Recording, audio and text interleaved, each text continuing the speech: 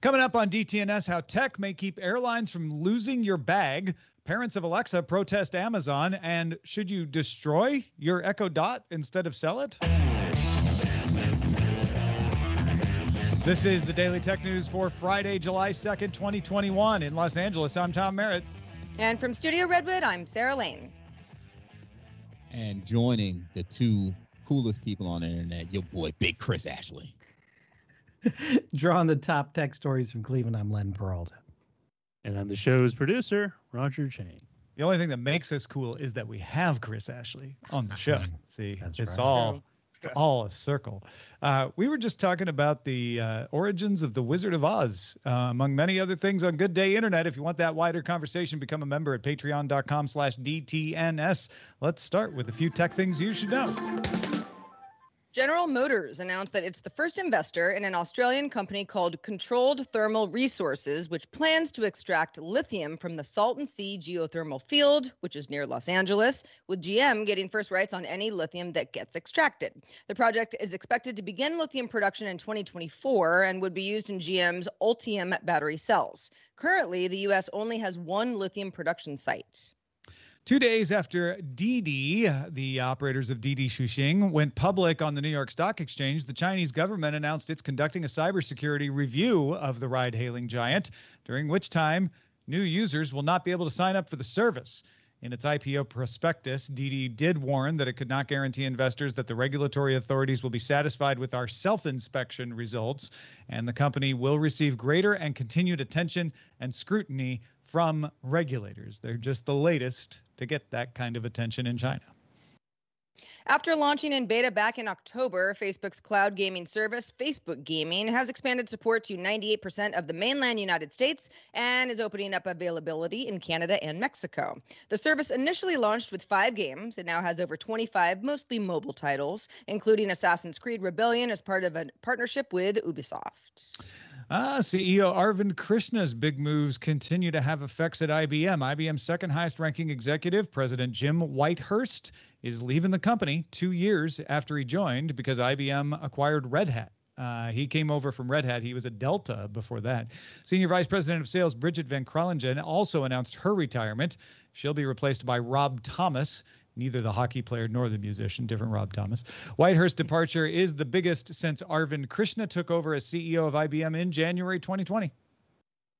OnePlus announced on Friday that the OnePlus 8 series and all newer flagship phones will get three major Android OS updates and four years of security updates. It's pretty close to what Samsung is already offering. The new support schedule is a result of merging OnePlus's Oxygen OS skin with Oppo's Color OS on the back end.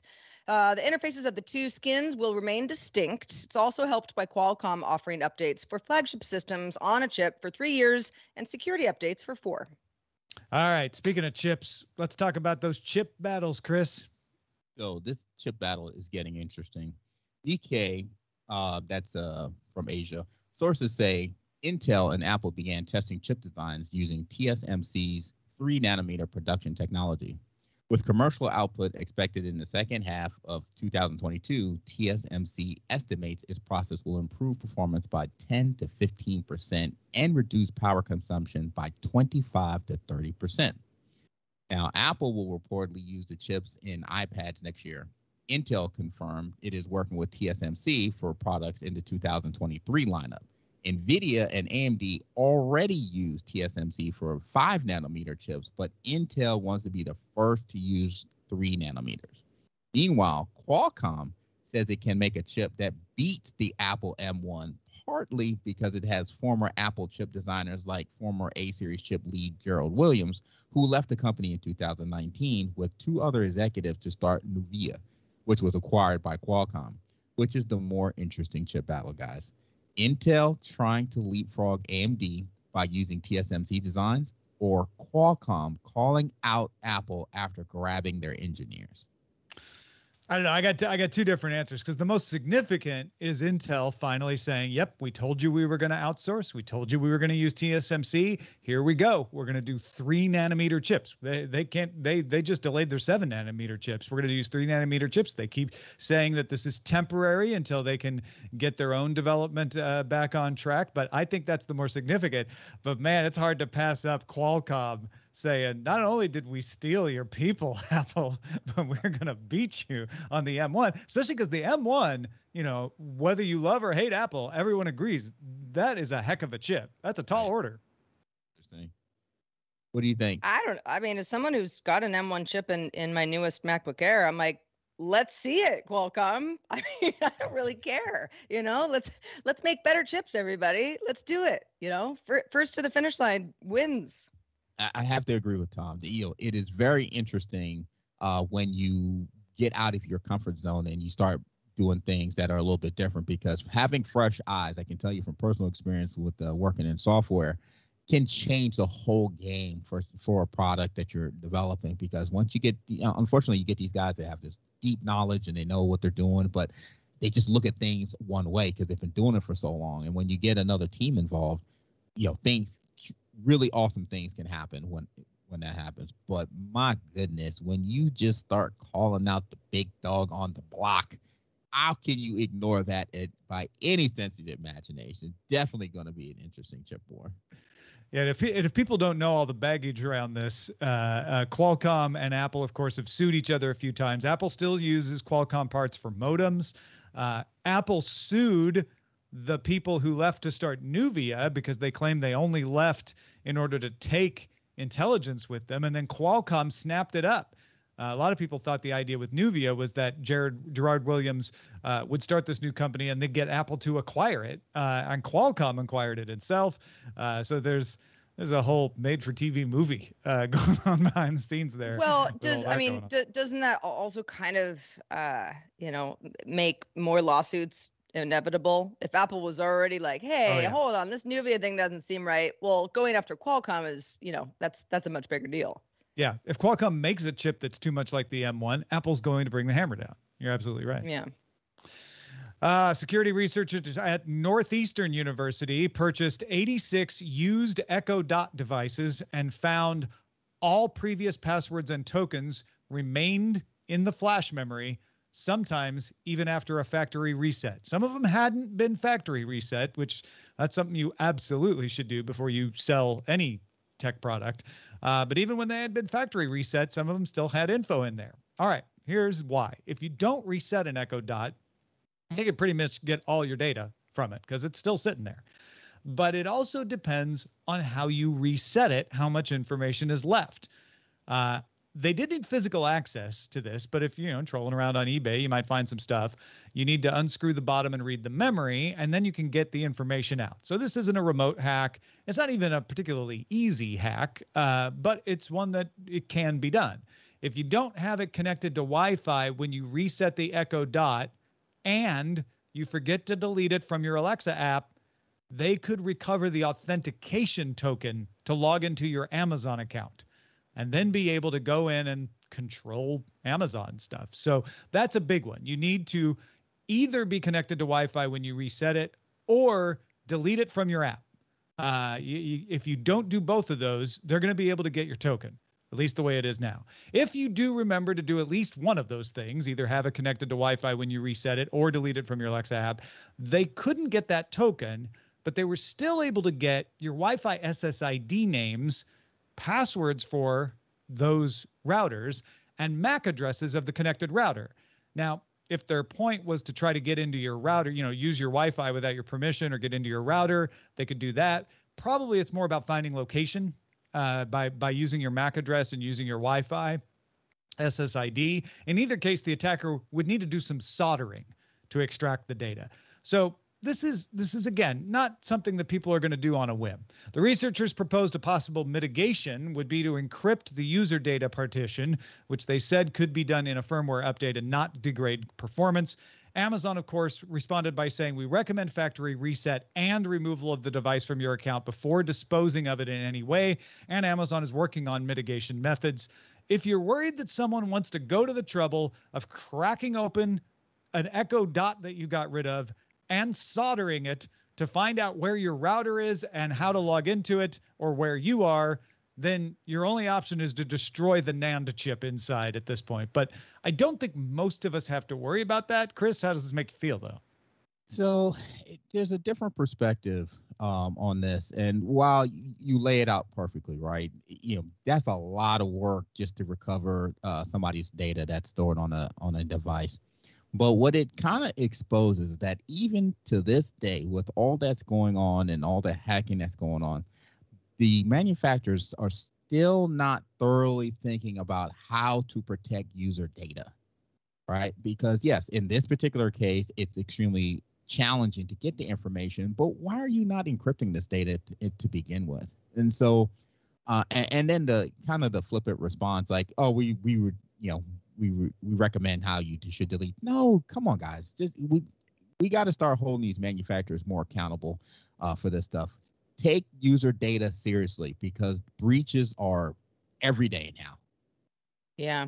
I'm with you on that, Chris. I I I understand that it's not always as easy as like erase button, you know, and then everything's fine, right? But uh we spend so much time when I say we, it's people who understand these things maybe more than other people uh that, you know, you you, you have data that is it is is open, vulnerable, private, and you don't you know you, you don't take good enough care of it and it's on devices then you're going to get in trouble. You know, it's, it's a bad way to live. So if you've got a device where there is a method for doing the right thing, but it's a little bit more convoluted than that, then yeah, I think the it's it really is on the company to say if you're going to take the initiative to to secure your privacy as much as possible, then something like this is it's asking too much of a lot of people especially echo dot owners well I, I didn't take amazon as being flippant i took amazon as reminding people like you do need to reset your your devices before you sell them. That's just good practice everywhere. And saying this is the yeah. proper way to do it for us.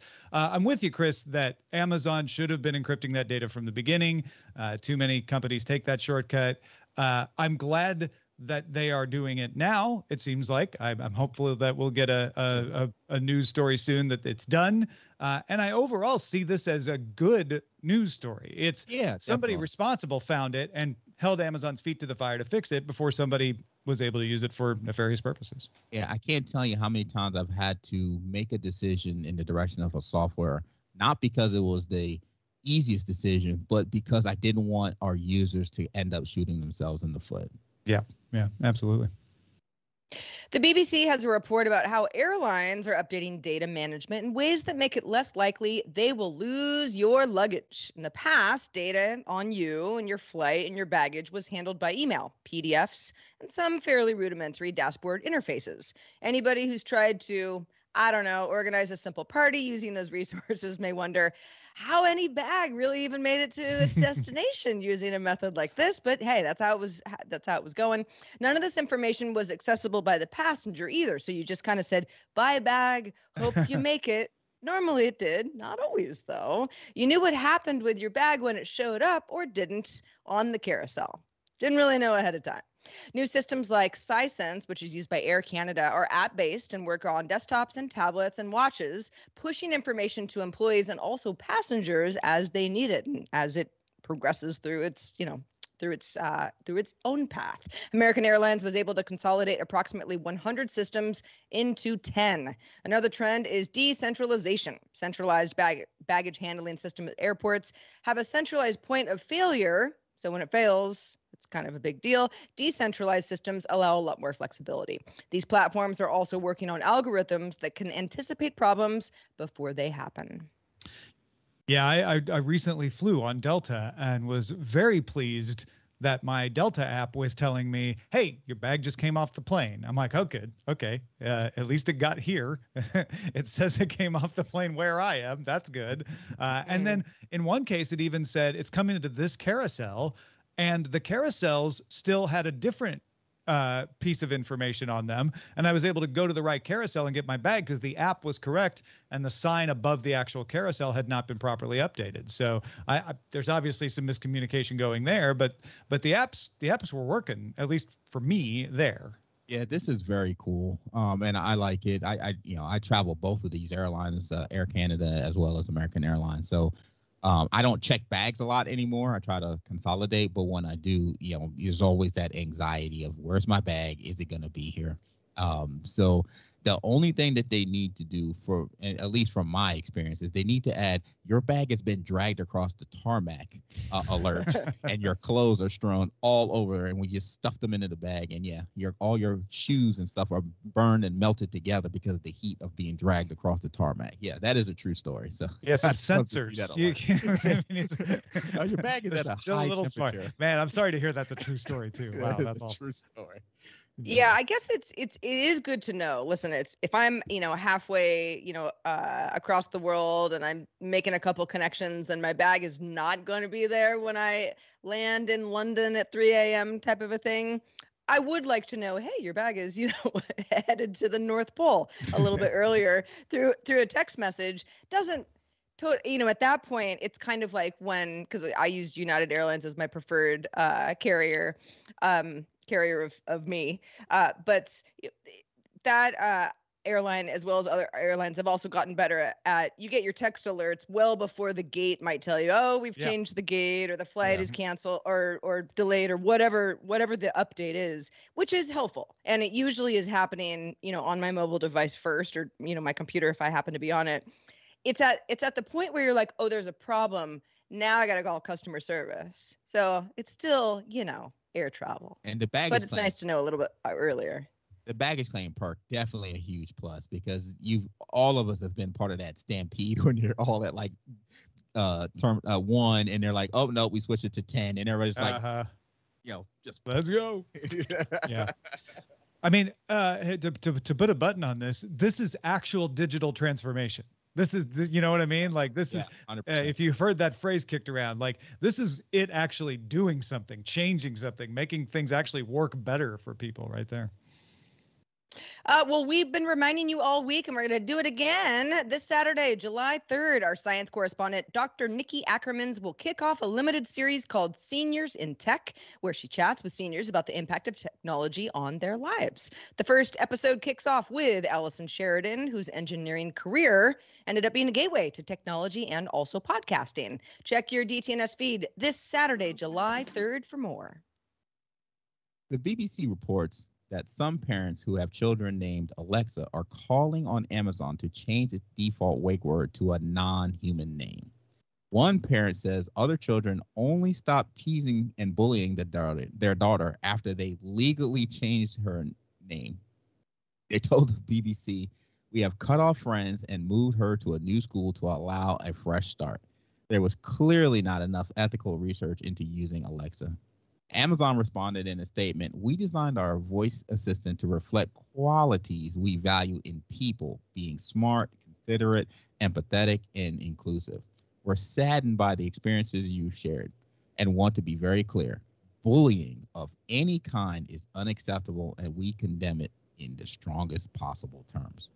Alexa enabled devices came to the UK in 2016, and the popularity of the name has dramatically fallen from the 167th most popular name in England and Wales to the 920th popular name by 2019. That is quite a fall. yeah Quite a fall. uh, I when I w- I'm tempted to say uh, chil- children can be awful, uh, but that's not a, as an excuse, right? That that's sort of like this should have should have been expected, and I think that's what the parents are saying. You you you should have expected this. I'm not sure that any of us, when Amazon launched the Echo, thought of that. Uh, I'm not sure how much I hold Amazon culpable for that. On the other hand, it was a much smarter move for Apple to call it Siri, Sure. uh, since there's not a lot of people named Siri. In fact, if you're named Siri, it's likely because you got named Siri after the, the voice assistant, uh, not before it. Uh, and you know, okay, Google, right? Uh, Yeah, whole, Microsoft. whole lot, whole lot Microsoft better. used Cortana, for Cortana, the video game. Yeah. Uh, so so this this is not something where I I I would necessarily say we should have known ahead of time. Maybe we should, maybe we shouldn't. But certainly now, it's like you know what? Maybe don't name voice assistants after people for lots of reasons. This being Sure. among them. yeah going forward definitely let's not do that but uh you know and i I, I do feel bad because for the little girl because i i hate bullies i really can't stand them um but uh you know the, that that's way out you know they're not changing the name it's been a while since I don't know I was a kid on a playground, but I, it, my first reaction is, but what are you getting teased about? I mean, it's it's it it's a name that represents a wealth of information reordering cool things you know you can you can do math you know ask alexa to do kind of everything but let's just say no it actually sucks to be a human with that name in this day and age totally get it uh, legally changing your kid's name seems like a dramatic way to solve this issue uh, again i don't have a kid uh, nor am i named alexa so i I can imagine that it might get pretty bad at some point. There are other wake words though. I use Sonos uh, to to talk to my Amazon assistant, so I actually don't have the options to. I think it's Alexa Computer and Echo, uh, mm-hmm. right? That that you can you can change to. Not the default though. So okay, I get that. Perhaps yeah, Amazon cha- has some choices you there. changing the default word is not going to stop kids at school exactly. from knowing about right the name of I also just, you know, we're at some point, I don't know when, but at some point we're going to have more customization options for our wake words. So I think that's what the solution is here. I think that's you know? the ultimate solution is just let us all name it whatever we want. And then right. there's not this right. one iconic word cuz sure, you you can get made fun of for having the same name as somebody that was in a movie or a TV show or a book. Right. The thing is that fades away whereas the Echo doesn't. The Echo stays in your house and everybody keeps right. using it. You know, I told baby girl, I was like, listen, honey, it could have been worse. Your name could have been Joe Dirt. right. Oh man. Uh, CNET's Dan Ackerman has an article up called "Why Giant E-Ink Screens Like the Boox Note Air are my favorite underrated tech. He points out that most people think of the Kindle when they think of e ink screens, but it's not the best example because it's very specialized and the screens are small at six or seven inches. The 10.3 inch screens of the Remarkable 2 and the Boox are much more comfortable. He notes that e ink screens are good for lag free note taking and drawing, and e ink screens are easier on the eyes and good for long term reading. The Boox uses Android, which means you can even get the Kobo, Kindle, and Nook Android apps on that big 10.3 inch screen. Uh, Sarah, you've been testing the Remarkable 2 for the next Live With It special. What's your reaction to Dan's write up? I agree. I agree. In fact, I've got it right here. I haven't talked about it too much because I'm still in my uh, review period, but yeah, I'm I'm I'm with Dan on this. I also this is my first e-reader and the Remarkable 2 sort of specifically is very much considered a productivity tablet. I mean it, it's an e-device, but uh but it the process of reading e-books on the Remarkable 2 is somewhat limited and there's some workarounds you have to do because of DRM EPUB. Anybody who's been through that, you know, it's it's possible, but it, there's some gray areas of legality. Uh, but the just the e-ink itself and also the larger form factor I, I I have to assume makes a big difference, especially if you're using it as a note taker. I mean, the Remarkable has a, a, pen, and that's a big part of it. You know, it's it's signing documents and annotating things, but also doodling and it, you know it's it's very much made for uh, the sensation of you know holding a pen or a pencil. In fact there's all sorts of different pens you can choose from calligraphy pen and stuff like that. Mm. uh, uh, so so so that part's neat. And you want a bigger surface area. I mean there's almost no situation where i wish it was much smaller unless i was trying to fit it into a very small specific bag let's say. But but yeah i I think, um, and I was not familiar with the Boox Note Air uh, until I until I looked through Dan's um, rundown of of some of the other options that the Remarkable Two gets put in the category of. Not cheap, um, and some folks say is overpriced for what it does. But I, yeah, I think I think the larger form factor, something that resembles that eight by eleven piece of paper as closely as possible, is for me, it it makes the most sense, especially when I'm trying to go fully no paper in my household. I'm not there like yet, what, but I'm getting there. I like what Dan said about uh, people think of e-ink, they think of the Kindle, and it's it's not the best example of what e-ink can do. So uh, I, I, I like what you're saying is like, look, if you really want to take advantage of e-ink, you might want to look at a Remarkable Two or a Boox or something like that. Yeah. Well, and I think I think a lot of people, especially like me, it's it's not that I wanted physical books I, am fine with physical books but it's not like i was like e-readers suck i like physical books i'll never change but i needed a little bit more of a reason to say i could do that but then there's all these other kind of productivity and task mm-hmm. management things that i could also do and this is this neat thing that you know isn't going to glare up in the hot sun you know it's easier on my eyes especially late at night there's a lot of things to like about it I wasn't too sure about the when you know the mentioning of the signing of document. Uh, sorry, not the signing, but the uh, note taking. Um, but even though you know I could see it as being somewhat useful, but the signing of documents is super interesting because I can't tell you how many times in the last year I've had a digital document that I had to either print and then rescan in, or um, you know just scribble my finger in a Word document to try to get that thing signed. So being able to send it to the device and sign it and then send it back, that's pretty cool actually. Yeah, there's there's some there's some pretty seamless things I've already I, I I was I've already thought to myself, okay, well I already have a solution, but this is a better one. It just feels Mhm. better. So Yep. you know, taking notes, taking notes. Uh, make sure to become a patron uh, by August so you can get the full live with it when uh, Sarah's done testing the Remarkable Two.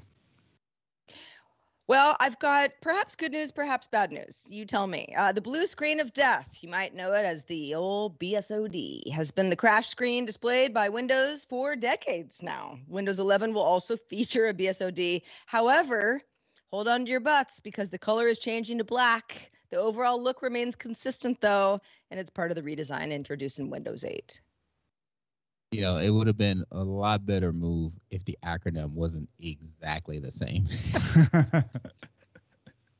it's still it's still frustrating. Also, Yes, you're still gonna be Yeah. mad. You're still gonna be looking at a bunch of numbers. You have no idea what it means, and you're still gonna wonder like, why did you even bother giving me a QR code? What does that even do?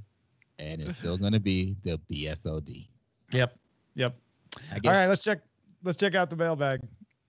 Uh, we got uh, an email from somebody who works at Wing uh, who chose to remain anonymous, uh, who says, I'm not, and, and this is in response to our story from, was it yesterday or two days ago, uh, about Wing and, and drones and, and the idea that we can, um, as, as consumer drone flyers, get approval to fly in areas that uh, we might need approval for. Uh, worker at Wing says, I'm not quite sure if gathering data about where people fly drones would help Wing or Alphabet or Google in their ad services unless they shared that data with other parts of the company, which they do not. I'm sure that's somewhere in their terms of service and privacy policy. But Anonymous says one possible use case for making such an app as this, though, could be to prevent mi- mid air collisions between win- wing drones and consumer drones. The high barrier to getting flight authorization means that many people fly without getting one. When they do that, Wing has no way of knowing that their drone is in Wing's flight path, and Wing risks colliding with that drone. By using a system like low altitude authorization and notification capability, or LAANC, Wing forwards the flight reservation to a UAS service provider, those are the people maintaining that data, and then checks with the UASSP when planning a delivery. That ensures people get their deliveries and no one goes home with a broken drone. Ah, that's fascinating. Uh, thank you, anonymous person from Wing. Uh, I never thought advertising was what that data would be valuable for for Wing. I thought maybe optimization uh, or, or route planning or something like that. But this brings it into focus. It's like, oh yeah, and safety, uh, and and it's a great example of that. Thank you, uh, anonymous Wing person, uh, for Yeah, the really cool. clarification. Really Yeah. cool. Yeah, lot of sense. yeah. Uh, we love getting feedback from inside the walls themselves. Uh, you know, it Between the doesn't happen every day.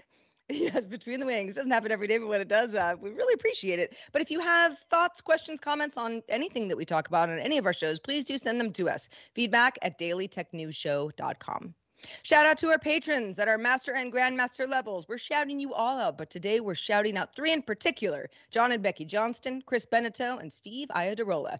Hey, guess what? We also have a brand new boss, and his name is Steve Davis. Yeah, Tom.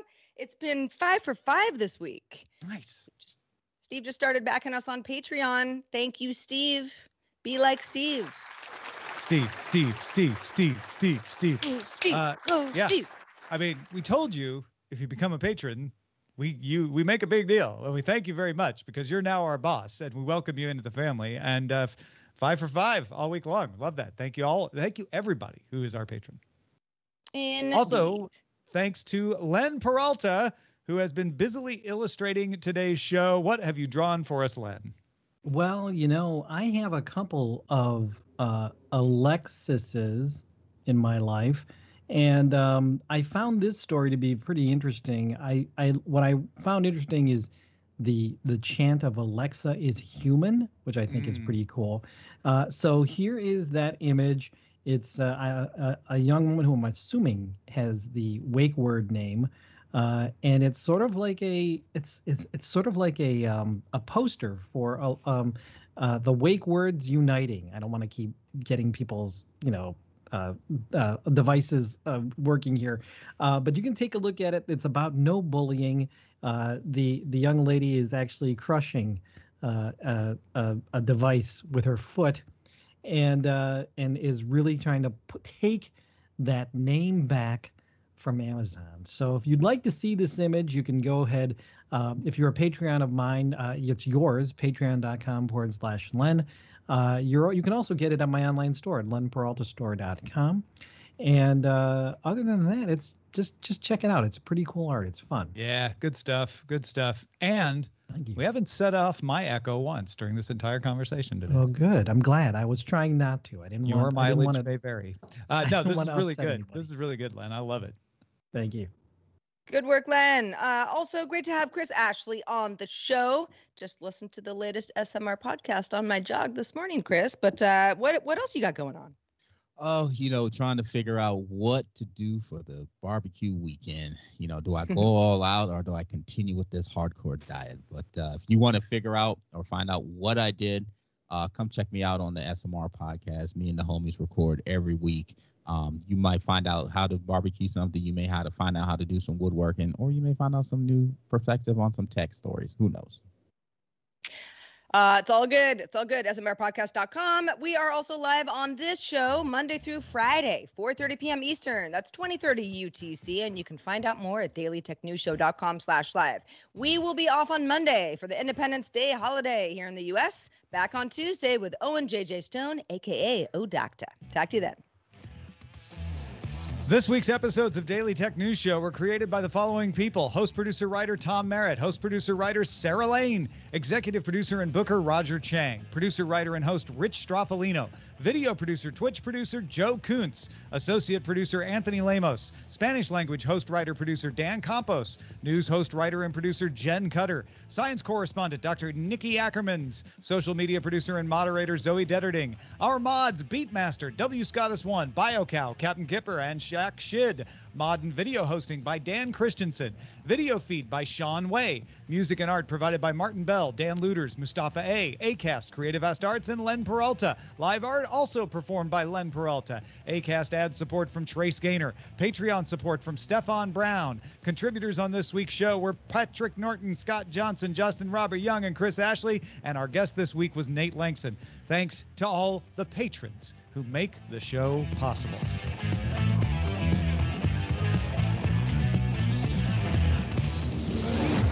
This show is part of the Frog Pants Network. Get more at frogpants.com. Diamond Club hopes you have enjoyed this program.